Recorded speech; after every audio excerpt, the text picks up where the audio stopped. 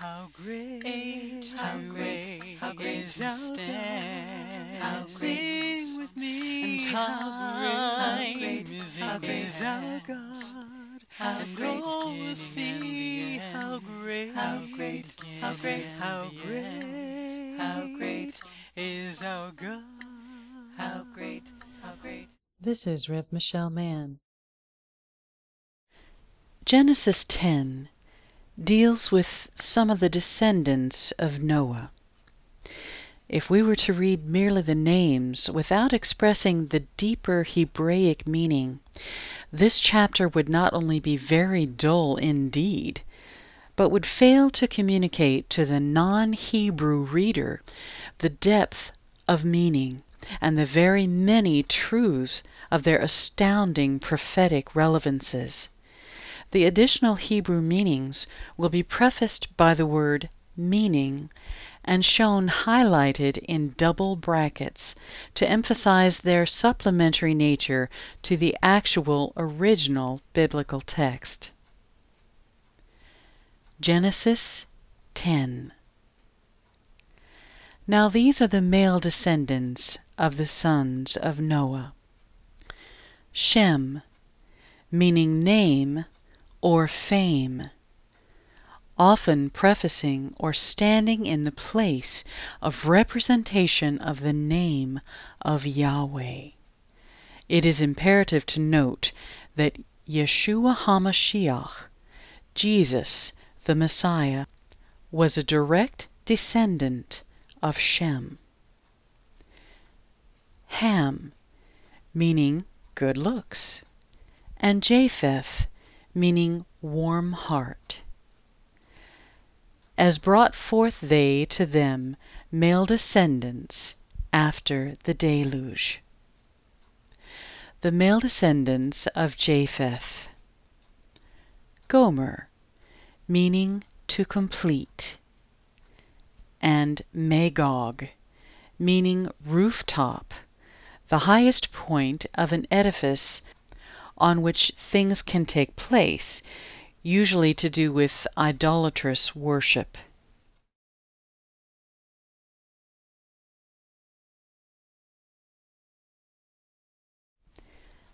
And Madai, meaning to establish distance from the center. And Yavan, meaning ancestor of the Greek people. And Tubal, meaning to bring, to carry, to lead, to conduct. And Meshech, meaning long, tall, or drawn out by force. And Tiras, meaning desire. Now the male descendants of Gomer, meaning to complete. Ashkenaz, meaning to sprinkle as with fire and Rephath, meaning to heal with dried fruit or herbs, and Togarma, meaning to save or lay aside for myself by breaking bones or strength. Now the male descendants of Yavan, meaning ancestor of the Greek people. Elisha, meaning God is, and Tarshish, meaning great wealth and opulence, elegance like alabaster for the tabernacle.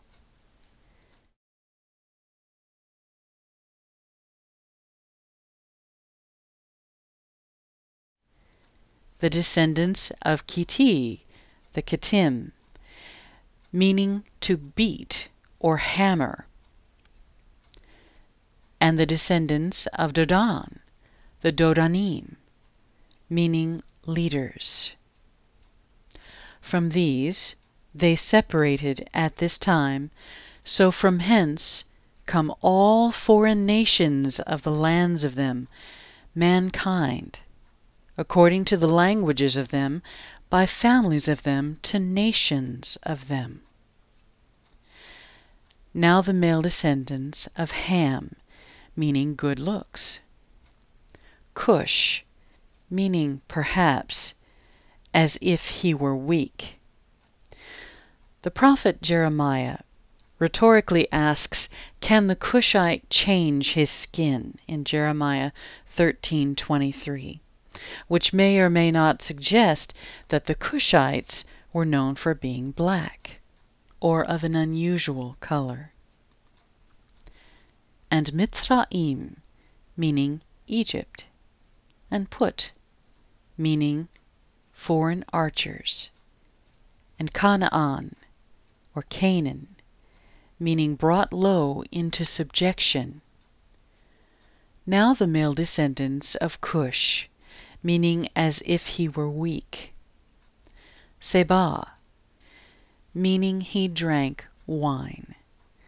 And all the people, all the descendants of Hatvila, meaning languishing village or exhausted revelation. And all the descendants of Sabta, meaning to turn around, to turn toward, or turn on someone aggressively. And all the people of Ra'amah, meaning to thunder, as well as Sabteka, meaning to turn around, to turn toward, turn on someone aggressively, or beating, or in depression. Now the sons of Ra'amah, meaning to thunder. Sheba, or Sheba, meaning seven, or oath. And Dedan, meaning leading forward, for example, a great increase in family. From Cush, meaning as if he were weak, remembering that Jeremiah rhetorically asks, Can the Cushite change his skin? keynoting a differing color from others. From Cush, his lineage, came the infamous Nimrod, meaning rebel, having a relation to the Babylonian god Marduk or the star god Namra Udu, demonic enlightenment. Nimrod, who sank into depravity by becoming altogether tyrannical in the land. He maintained a tyrannical justice in the face of Yahweh, about which it is said, as Nimrod, the tyrant judge in the face of Yahweh. As it came to pass, it became the first kingdom at that time known as Babel, and Erech, and Akkad, and Calneh in the land of Shinar. Out of the land of which he went forth, Ashur, meaning walking the straight path, happy and righteous. In time, he builds the city of Nineveh, as well as the city of Rehoboth, and the city of Calah, and the city of Resen, between Nineveh and between Calah, known as the Great City.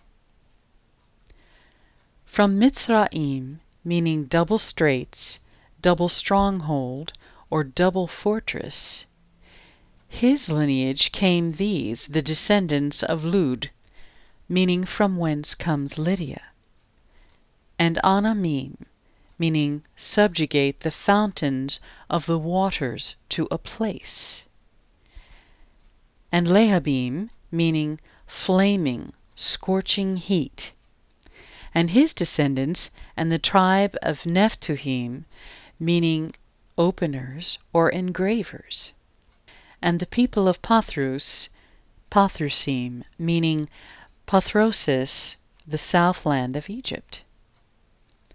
And those of Casluhim, meaning are the fools forgiven who worship gods of constellations, Casluim, who went forth from there. The people of Pelishti, Philistines or Palestinians, meaning ones of Palestine, land of wanderers. Now I will share some telling information regarding this name at the end of Genesis 10. And those people of Caphtor, meaning seek to atone, or purge to attain rightful freedom. Now Canaan, or Canaan, meaning brought low into subjection. He fathered Sidon, or Sidon, meaning the hoarding huntsman's fortress, his firstborn. After that, his son Heth, meaning in dread he doth deplete utterly.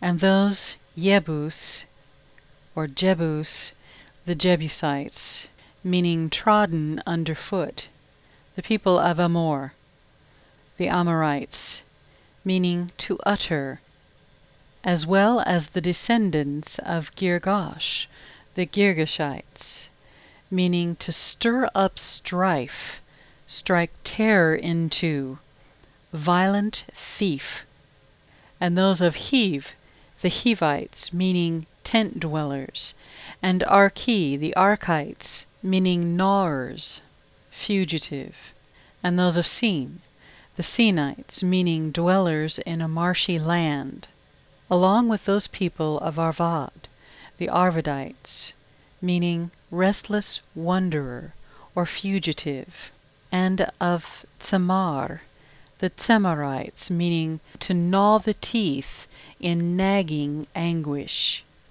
and the descendants of Hamath, the Hamathites, meaning fortress. Likewise after this time were scattered they, families of Canaan, the Canaanites, meaning humbled.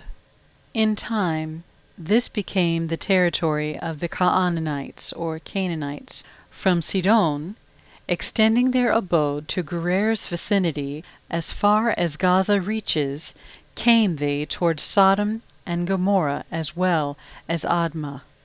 These sons of Ham, according to their families and according to their languages, into these lands taken by them, becoming nations of them. Samech ponder to comprehend these things. Now of Shem's descendants. Altogether, he fathered all the descendants of Eber, meaning he passed over. Shem, brother of Japheth the Great. Male descendants of Shem, meaning name or fame. Elam, meaning hidden time, eternity, young man, always. And Ashur, meaning to go straight on, a level plain. And Arpachshad, meaning boundary of the Chaldeans, possibly meaning comes as a light, to snatch like a lion, with a curse to drink from the vial the trickle from the sacrificial bosom, the object of child sacrifice, or a demon. And Lut, meaning beget or bring forth. And Aram, meaning high, elevated. Male descendants of Aram, Uz, meaning counsel, contemplation. And Hul, meaning writhing in agony. And Gether, meaning circle of the winepress, and mash, meaning drawn out, as long or tall. Now Arpachshad, meaning the object of child sacrifice or a demon, he fathered a son, Shelah, meaning prosperity. Then Shelah he fathered son Eber, meaning he who passed over. Then to Eber were born two sons, the name of the first Peleg, meaning a dividing by waters, because during his days began the splitting of the lands of the earth. And the name of his brother was Yoktan, meaning small, younger, insignificant. Now Yoktan's male descendants included Almodad, meaning how God loves, and Shelef, meaning drawn out as from a group, and Hazarmaveth, meaning village of death or court of death, and Yera, the Arab patriarch, meaning whiteness like the moon, and Hadaram, meaning exalted glory, and Uzal, meaning take off, vanish, or going to and fro, and Tikla, meaning date tree or palm, and Obal, meaning bare, no clouds or clear skies, and Abimael, meaning my father is God, and Sheba, meaning to swear an oath, or seven, and Ophir, meaning doubly fruitful,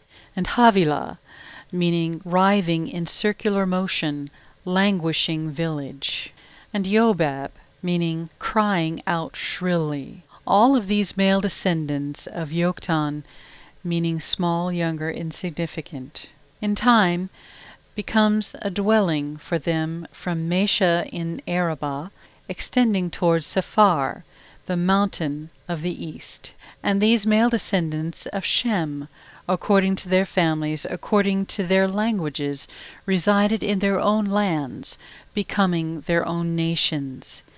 These are the families of the sons of Noah according to their genealogical annals, divided by their peoples. And from these were dispersed they, the nations of the earth after the deluge. Speak these things. This is the end of Genesis 10. To note, the etymology and definitions of names were derived from abarimpublications.com. The address is shown below. The name Palestine in the Bible. In Hebrew, the name Palestine and the name Philistine are pretty much the same, and Philistine literally means one of Palestine. The Philistines are descendants of Casluhim, who were sons of Mizraim, son of Ham, son of Noah. The Philistines are those living in Palestine or Palestinians. Palestine being the land of wanderers. This is Rev. Michelle Mann. Thank you for watching, and God bless you. How